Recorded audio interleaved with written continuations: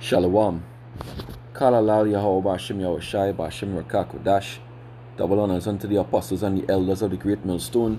Peace and salutations unto the Akiam, the brothers pushing this truth through the four corners of the earth in truth and sincerity, risking their lives and their freedom to do so, now more so than ever. To the scattered, respectable Israelites to be scattered among the heathen.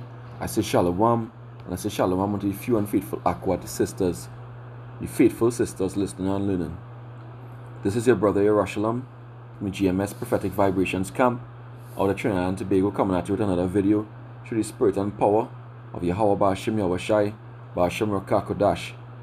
Alright, this video will be entitled Grievous Sores, you know, from microchip implant. Alright? Grievous sores from microchip implant because you know, you know, it was it was found, you know, through studies all right that um this microchip is going to be cause is causing cancer right for people all right? And um you know all this information has been hidden and downplayed all right? But i got this article um from my brother all right? You know it's dated september 9 to 2007 all right? Um from c is it cbs or cnbc you know um NBCnews dot NBCnews.com Slovakia. Alright? So I'm gonna go into this article here and then I'll show you a video, an actual video showing the saw, you know, from my brother's video, GMS Watchman, you know, the saw that's bursting out on um on a on a guy's skin, you know, and they they keeping those things silent, you know. If there's one if there's one instance, it's likely to be much more than one. Alright? So um let's go here. This is medical microchip for people may cause cancer. Alright? So it reads When the US Food and Drug Administration approved implanting microchips in humans, the manufacturer said it would save lives, letting doctors scan the tiny transponders to access patients' medical records almost instantaneously. The FDA found reasonable assurance, so that's what they're basing your life on reasonable assurance. Alright? Reasonable and I think it's better to go into that word reasonable.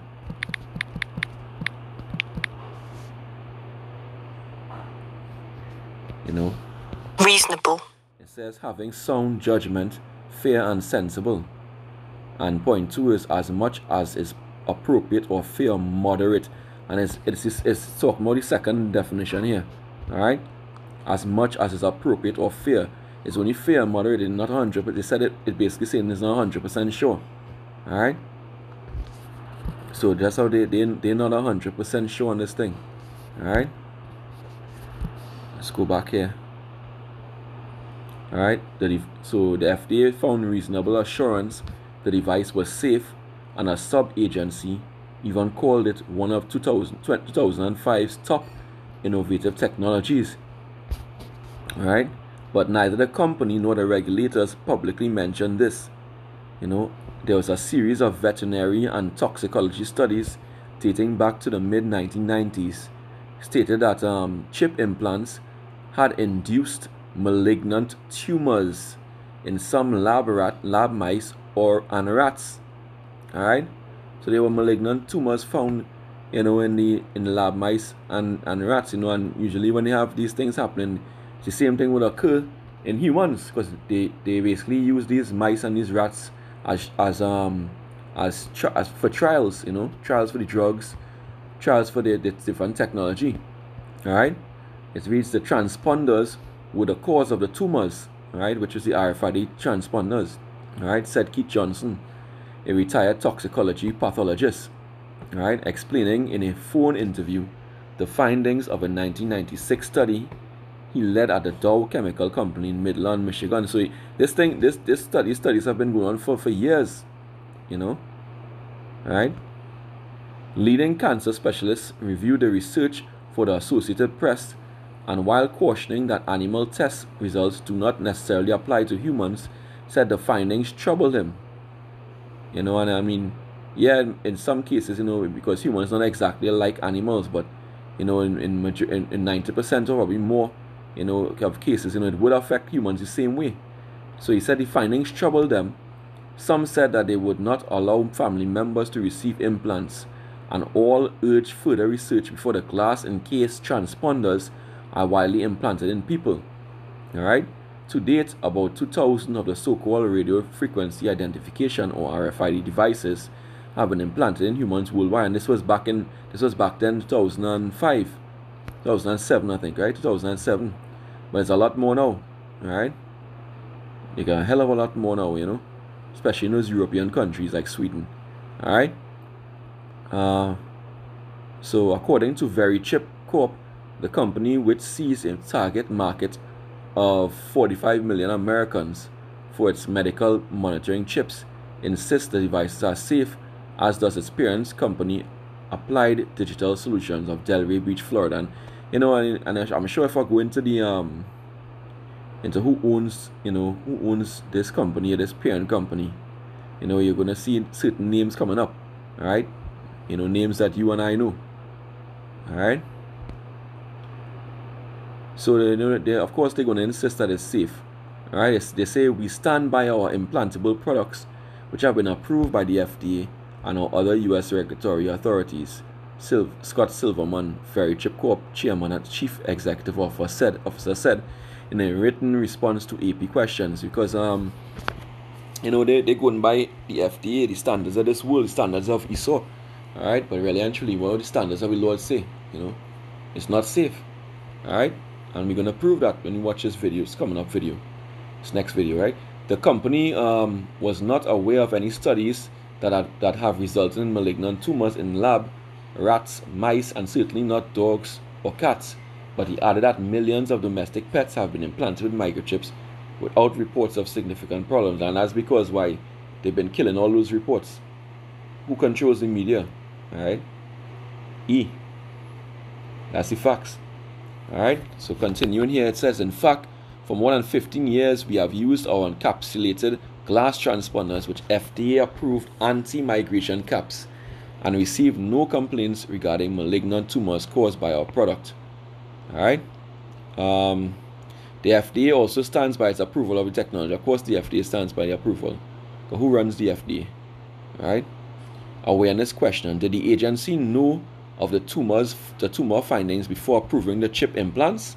Is a question. The FDA declined repeated AP requests to specify what studies it reviewed because, you know, if it, if it, they couldn't um, specify them because when you go into these studies, studies are available for viewing.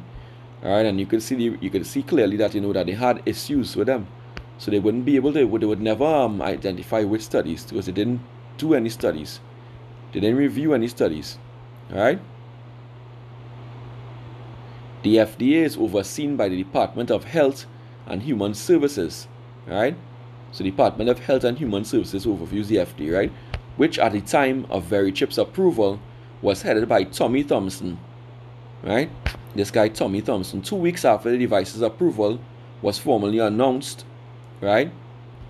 On January 10th, 2005, Thompson left his cabinet post and within five months was a board member on Verichip Corp, you know, you know, and, and Applied Digital Solution, which is the parent, you know, he was compensated in cash and stock options. So, so you tell me, is that just a coincidence? Right? Right, and so it says that the device was approved by the FDA on January 10, 2005, right? You know, and you know, um, ironically speaking, let me check mark this here. Ironically speaking, um, that was the same year that um, the current president Joe Biden, right, asked the questions to Roberts, the current Chief Justice, right? You know, you know if they would um, if they would um, if he would um, approve the microchip, right, for every man, woman, and child, right? So let me see if I can go down here in this article. This article from C-SPAN, all right? This was dated, I believe it's September the 12th, 2005. So between January and September, just about um about nine months. Just about nine months, just about, you know, after the after the microchip was approved. Alright. Let's see what they say here. Just look, just bear with me a moment here.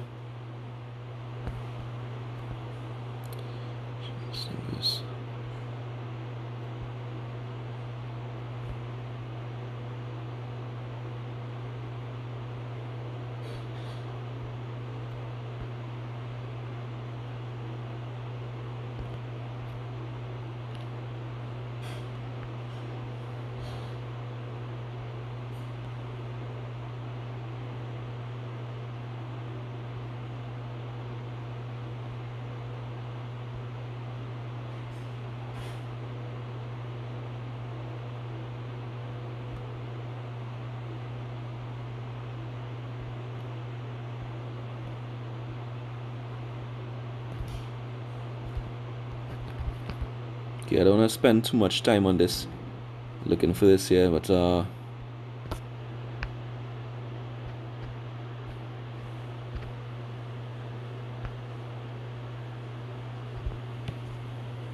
all right so this is it here. You know biden says um can a microscopic tag be impl- implanted in a person's body to track his every movement. There is actual discussion about that you will rule on that mark my words before your 10 years over so you see what you're saying here he's telling the judge that you know so they have everything planned out you know and the same judge is the chief justice right now right you know so, can brain scans be used to determine whether a person is inclined towards criminality or violent behavior? You will rule on that. And, Judge, I need to know whether you will be a justice who believes that the constitutional journey must continue to speak to those consequential decisions, or that we have gone far enough in protecting against government intrusion into our autonomy, into the most personal decisions we make judge. That is why this is a critical moment. So you see, he said it back in 2005, what over, going on 16 years now. You know, it's on this year will be 16 years. All right. So so this is all this was all planned. All right. So um, let me see if I jump back here.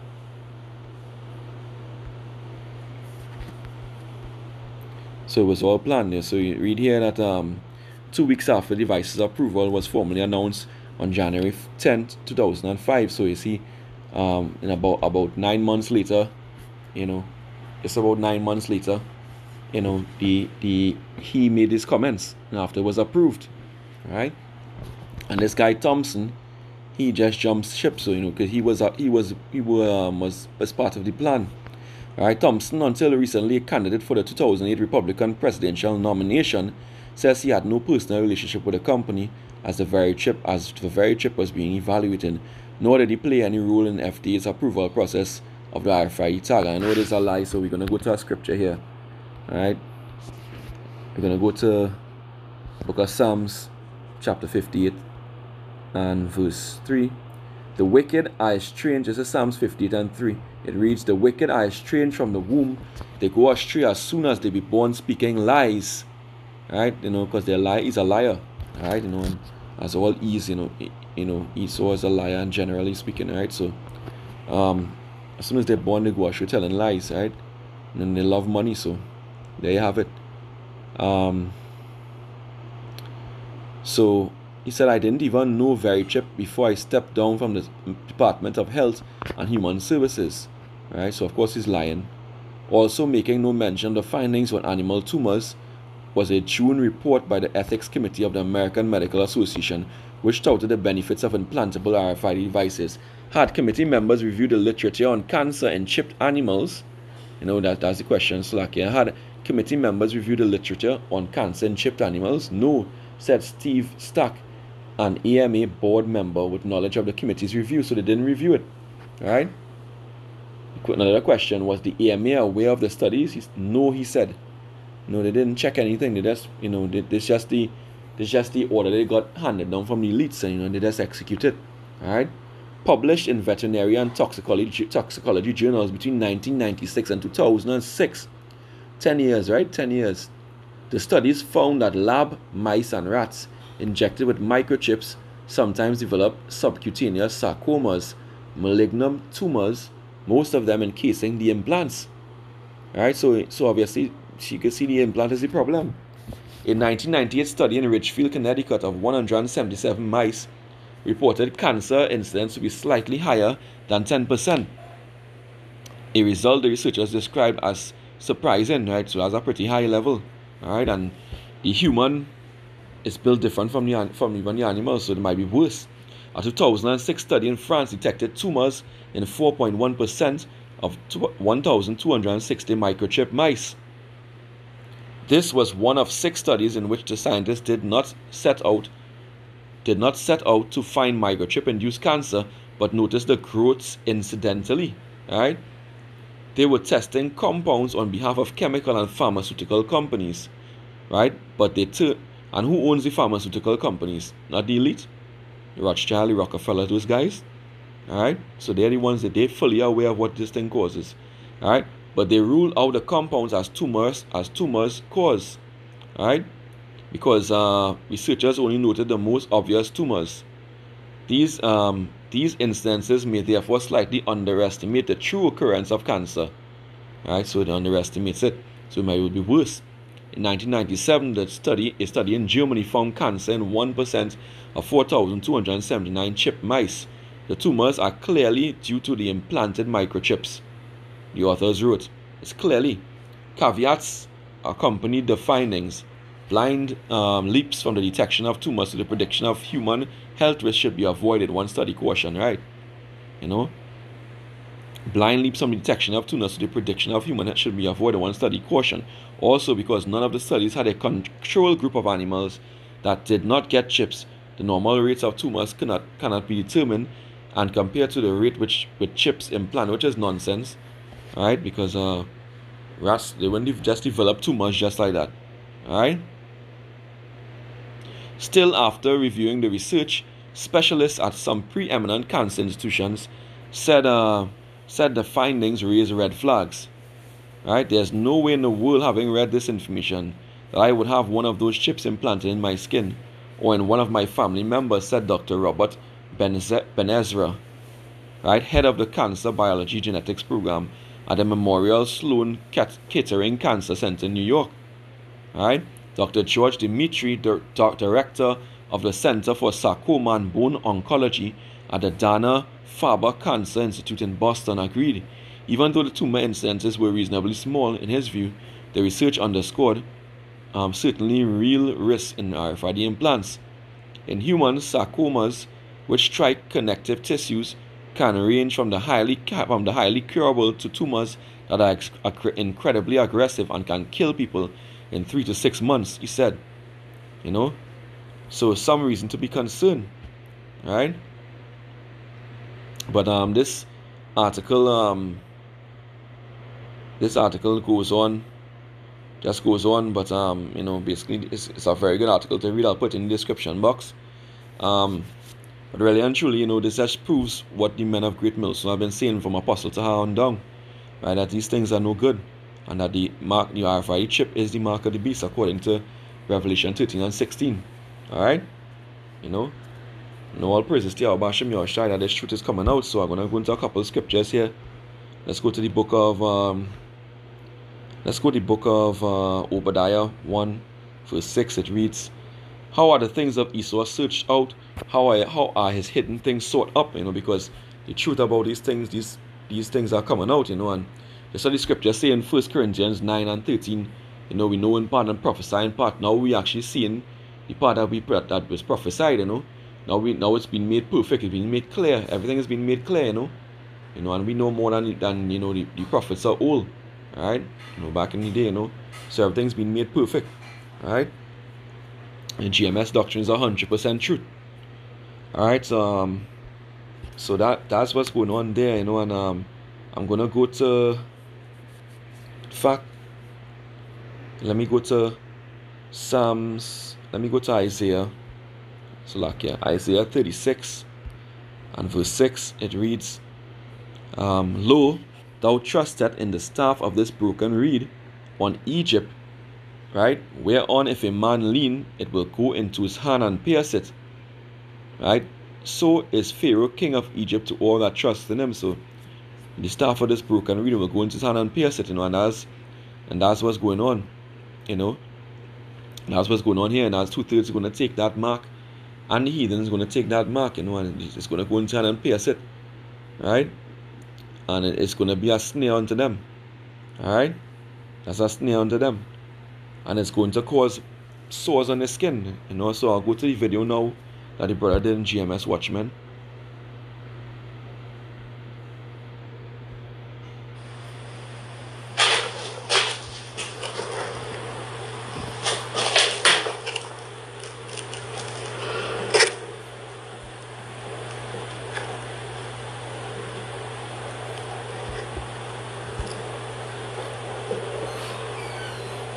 Granazzo. It's using pass too. See as he squeeze it there, you know, it's using pass. Alright.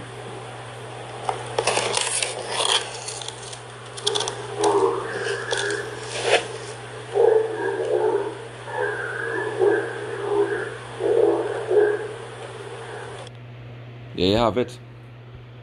Alright. So you see the um the grievous sore that burst out on the man's skin. Right? And that's a joke because um just as we was reading the article, you know, it was they said it was a small percentage, but remember with the 5G networks, you know, which they're busy working on right now. And that's the reason why you can't find again problems with even for the microchips. Getting these semiconductor chips in the automotive industry because they've been they're working on, you know, um, populating the whole world with these 5G towers, mass producing them, right? Which is going to boost the signal, you know, um, for the readers to read you, to read the microchips that's going to be in people's hands, all right? Because you know, you know, you need a reader to basically read the microchip. Microchip is a passive device, so you need a reader to read it. But if they, what will go on is that they will be constantly being reading information, right? Which will create a lot of radiation in the person's body, all right? Which is going to basically um make this sore this saw pop up on, on a much higher percentage of people than what you saw in the animals, what you saw in the mice and the rats. Alright? Um so so you know this this a snare unto those who take this stuff. Alright? So all who trust in Egypt, you know, all who trust in Egypt will be punished. Alright, and when you go back to when you go into this word um let's go to Revelation. Revelation 16 and verse 2. Revelation 16 and 2 reads, And the first went out and poured out his vial upon the earth, and there fell a noisome and grievous sore upon the men which had the mark of the beast, right? The same mark of the beast as per Revelation 13 and 16. And upon them which worshipped his image. So when you go into the the blue letter Bible, alright,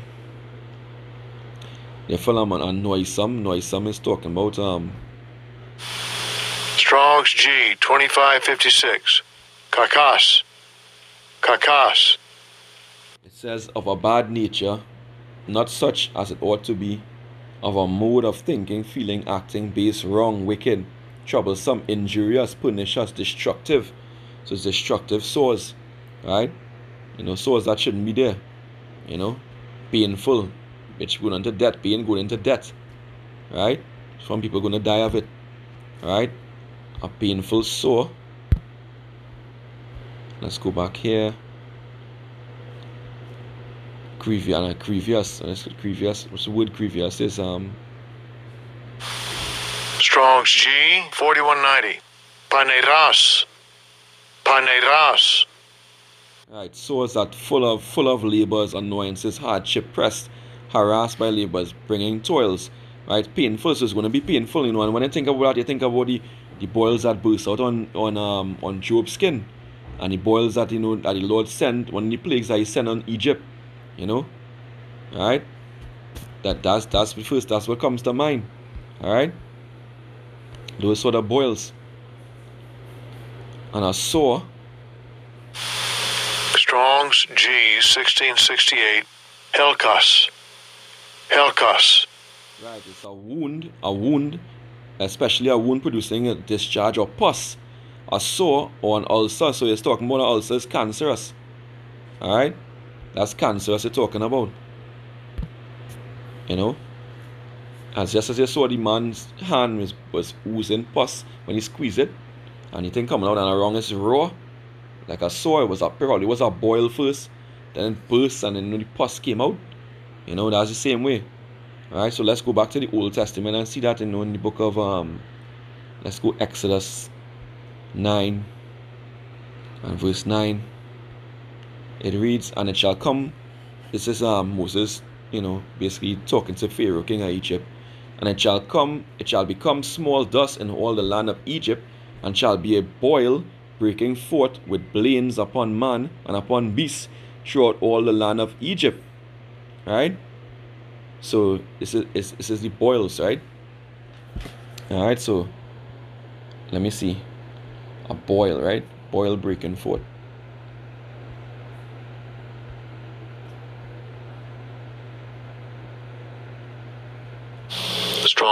Twenty two, Shechin, Shechin.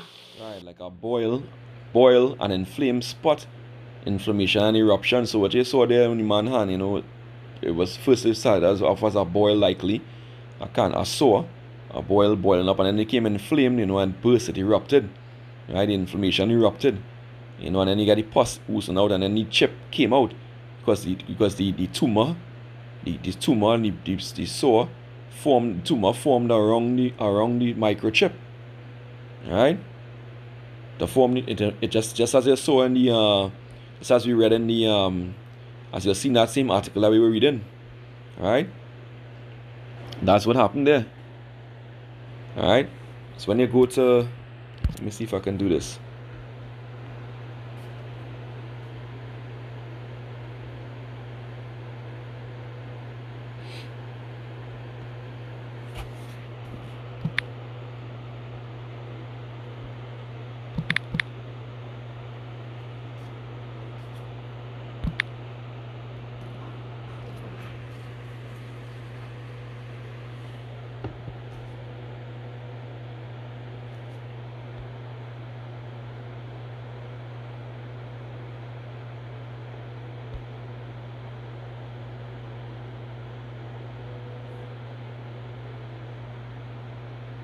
Right, it says a boil. Let me go meaning here.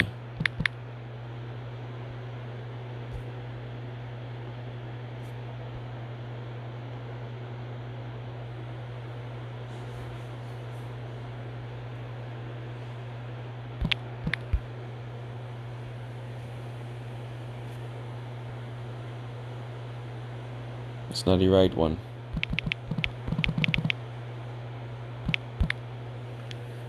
Right, a boil is a bacterial skin infection that forms in hair follicles and oil glands. But um, this is you sound even be more serious because it's coming from any tissue. Right, boils usually develop in regions of the body that experience friction or pressure, such as the face, armpits, groins, shoulders, buttocks. Boils begin as painful red bumps that begin to fit, develop as pus-filled head as they progress. So this is even worse than you know than a normal boil. Right this is going to be this is actually going to be in your flesh right? A, a, a, a infection in your flesh that's going to become cancerous because the tumor is going to grow around that foreign substance that foreign chip microchip all right um a sore.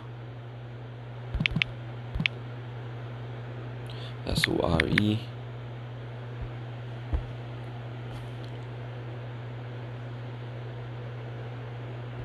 sore. A sore of a part of one's body, pain, painful or aching. She had a sore throat. Now let's go. Upset and angry. Yeah, it says a raw or painful place on the body. Right? There we go. Inflammation, swelling, lesion. So we saw just as we saw, look, a boil. They have a boil. See? We go back here. Boil. But it's just not talking about that boil. As the wrong boil. Talking about boil a liquid, but we're talking about boil as in yeah, and the infection. So what's really is an infection, you know? It could be that which become cancerous. Right? Which which oozes pus. Alright? That's what we're talking about. That's what we're talking about here. Alright, so that, so you get boils from ingrown hairs from you know something like this. The man, the one the man had was even was much worse than this. See it gets swollen and then it got swollen. And um, hold a second. So it gets swollen.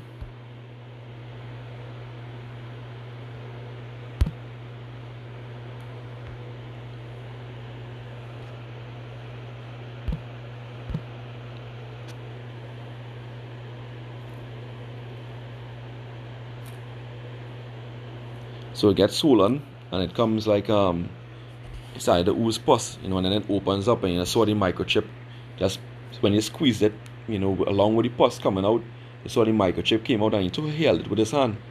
Alright?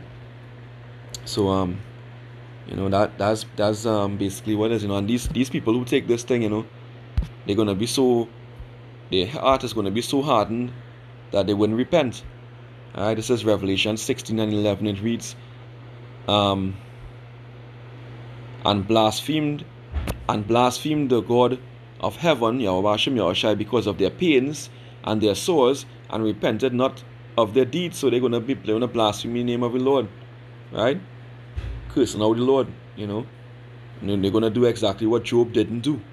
Right? Because Job was a righteous man. The righteous wouldn't, wouldn't blaspheme the Lord, but the wicked would. Alright? And that's what's going to happen. Alright, so let me just close this out. with a quick couple quick scriptures. Book of Psalms, chapter 52, and verse 1. In fact, verse 2. Thy tongue deviseth mischiefs like a sharp razor, working deceitfully. This is Esau, right? Thou lovest evil more than good, and lying rather than to speak righteousness, Selah. And that's them. It's E. Thou lovest all devouring words, O thou deceitful tongue. Right? The Most High shall likewise destroy thee forever. He shall take thee away and pluck thee out of thy dwelling place and root thee out of the land of the living. You know, according to Obadiah 1, 1 and 18, Esau is going to be put to death. And it shall be no more. Alright? Thus says the Lord. Alright? Just for lying and uh, deceiving the whole earth. Alright? And I'm just going to go quickly to Psalms 140, verse 8. You know, it's a prayer, you know. Psalms 140, and it says, Grant not, O Lord, Yahweh Bashem Yahushai, the desires of the wicked, further not his wicked device, lest they exalt themselves. And the Lord is not going to exalt themselves, because as we read in, as we read in the last scripture, uh, read in Psalms 52 and verse uh, 5, the Most High shall likewise destroy thee forever. He shall take thee away and pluck thee out of thy dwelling place and root thee out of the land of the living. And that's that's the that's the punishment for those who, you know, for those who in this place, you know, for two thirds of Jake, they're gonna be destroyed. For the heathen, well, yeah, they're gonna go into captivity, you know, and they're gonna be destroyed. The rest, of, some of them are gonna be destroyed, right? So I pray that this lesson has been edifying. I'm gonna give all praises, honor, and glory unto your Hawa Basham Yahweh Ba'ashem Yahushai, Ba'ashem Rakakodash, right? Honors unto the apostles and the elders for teaching us this truth, right? Wa abad babal Shalom.